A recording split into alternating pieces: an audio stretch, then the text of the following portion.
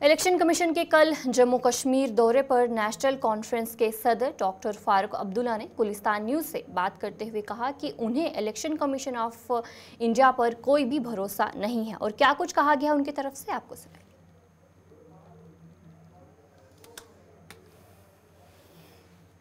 जो पार्टी की तरफ़ से वहाँ जाएँगे और ज़रूर उनसे बात करेंगे।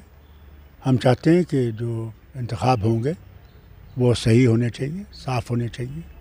वो नहीं होना चाहिए जो पार्लियामेंट्री इलेक्शन में सारे मुल्क में हुआ कि वहाँ पे पाँच पाँच लाख वोट ज़्यादा गिने गए, कई जगहों पे कम गिने गए और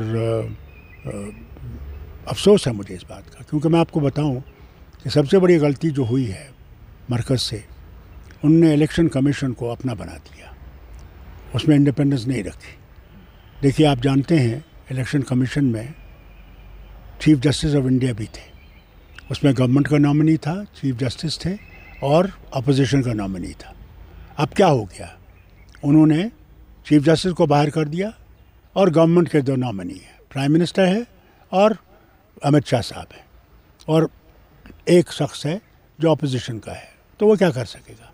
इसके साथ साथ मैं आपको बताऊँ, गवर्नमेंट के नॉमिनी जो आता था चुना जाता था, उसके लिए जो अपने कैबिनेट सेक्रेटरी हैं, वो चुना करते थे सारे अफसरों को देखकर, उनका पूरा डिटेल देखकर कि वो इसके में रहें, इनकी मदद करें।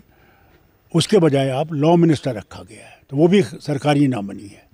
तो कहाँ रहा independence of this election commission तो मुझे तो इलेक्शन कमीशन पे ईमानदारी से आपसे कहता भरोसा उठ गया है।